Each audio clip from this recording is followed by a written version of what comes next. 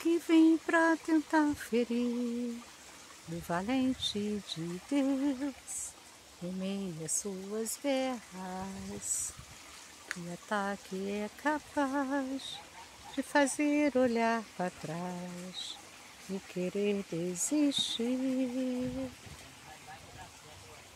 Que terrível arma é usada para tentar paralisar sua fé.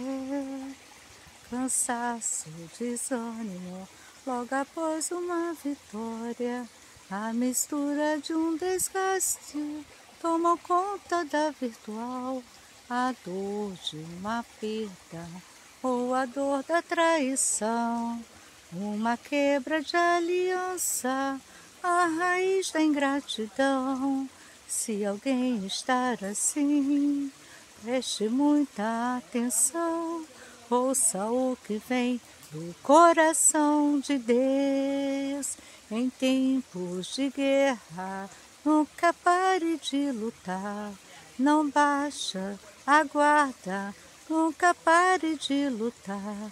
Em tempos de guerra, nunca pare de adorar.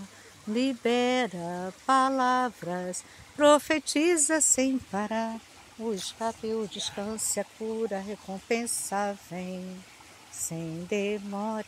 O escape, o descanso, a cura, a recompensa vem sem demora.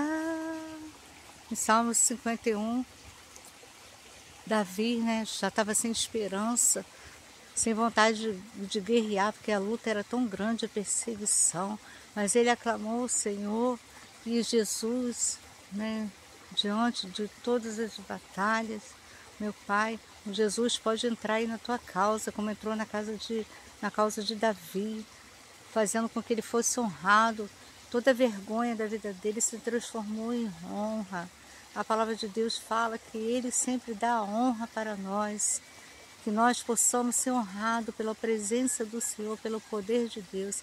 Nada, nenhuma arma forjada prevalecerá que as armaduras de Efésios sobre, possam estar sobre a tua vida, te revestindo do alto da cabeça até a ponta dos pés. Que todo mal saia, todas as adversidades, toda fúria, toda perseguição espiritual, todo espírito de enfermidade, saia agora com o poder do Espírito Santo de Deus.